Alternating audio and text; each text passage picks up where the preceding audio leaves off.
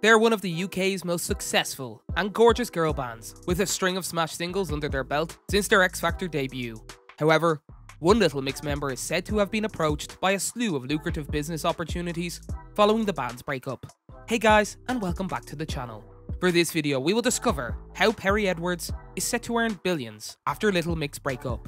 But before anything else, please leave a like on the video. Also, don't forget to subscribe to our channel and click the notification bell down below so you won't miss our videos. Without any further ado, let's hop on right to the video.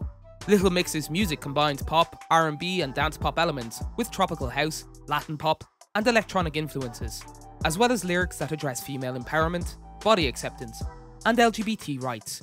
With Cannonball, their X Factor winner single in 2011, Wings in 2012, Black Magic in 2015, Shout Out to My Ex in 2016, and Sweet Melody in 2021, Little Mix have 5 UK number 1 hits. DNA, Salute, Get Weird, Glory Days, LM5, and Confetti are the group's six studio albums, all of which have reached the top 5 on the UK albums chart, making them the first girl group to do so. On the Billboard 200, their debut album DNA is the highest charting debut album by a British girl group.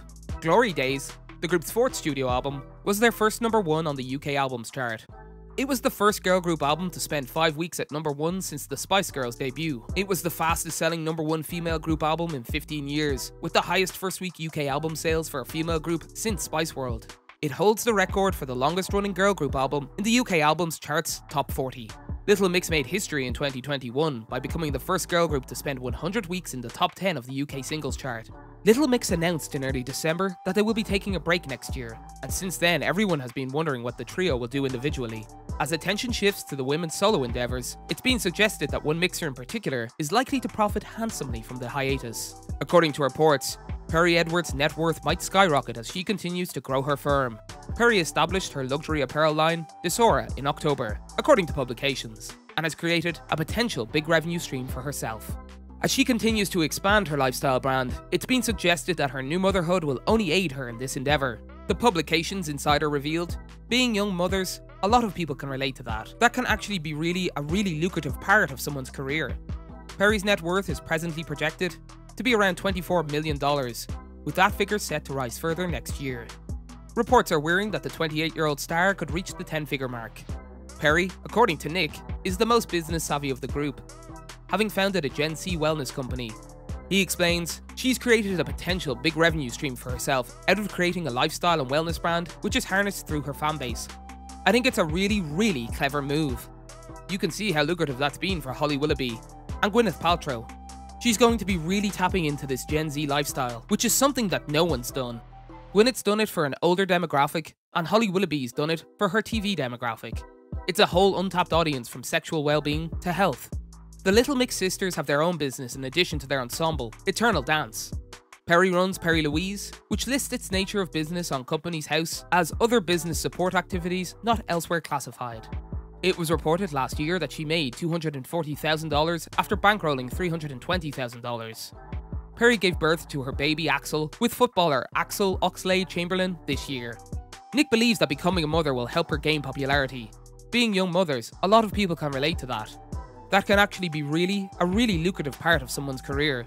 Perrie is also a social media powerhouse with 13.8 million followers on Instagram.